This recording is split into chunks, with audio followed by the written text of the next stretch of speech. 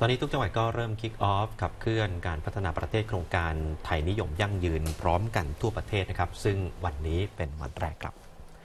เริ่มที่จังหวัดอุบลราชธานีนะครับนายสลิดวิทูลผู้ราชการจังหวัดพร้อมด้วยทีมขับเคลื่อนการพัฒนาประเทศตามโครงการไทยนิยมยั่งยืน ระดับตำบล ลงพื้นที่ชุมชน อุปาลีสาร 6 เขตเทศบาล นครอุบลราชธานี เพื่อเริ่มปฏิบัติการสร้างการรับรู้ รับฟังปัญหาและความต้องการของประชาชน เพื่อจะทำโครงการเสนอ ภายใต้กรอบการพัฒนาประเทศ 10 ประเด็น คือ สัญญาประชาคม ภูมิใจไทยเป็นหนึ่งคนไทยไม่ทิ้งกัน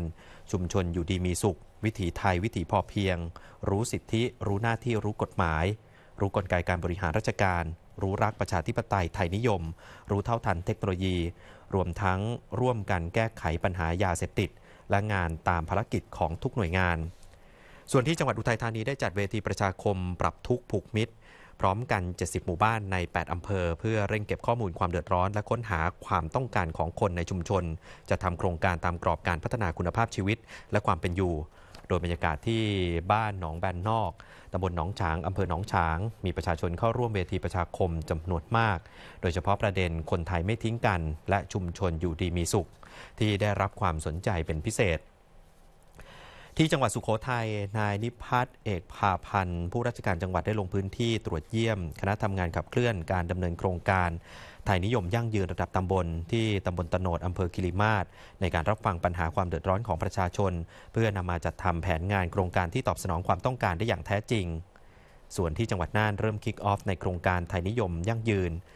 พร้อมกับจังหวัดอื่นทั่วประเทศ โดยแบ่งทีมขับเคลื่อนลงพื้นที่ตำบลละ 7-12 คน ทั้ง 98 ตำบล 15 อำเภอ ออกเยี่ยมเยียนรายครัวเรือน รายบุคคล พร้อมกับค้นหาความต้องการของประชาชนจะทำเป็นโครงการเสนอ เน้นการมีส่วนร่วมในการพัฒนาประเทศสู่ความยั่งยืน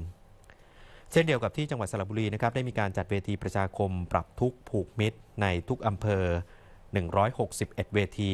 เพื่อวิเคราะห์ปัญหาความเดือดร้อน และเยี่ยมเยียนรายครัวเรือน รายบุคคล โดยครั้งแรกวันนี้เป็นการพูดคุยทำความเข้าใจเกี่ยวกับโครงการไทยนิยมยั่งยืน พร้อมกับเปิดตัวคณะทำงานขับเคลื่อนในระดับตำบล ที่จะต้องทำงานร่วมกับชุมชน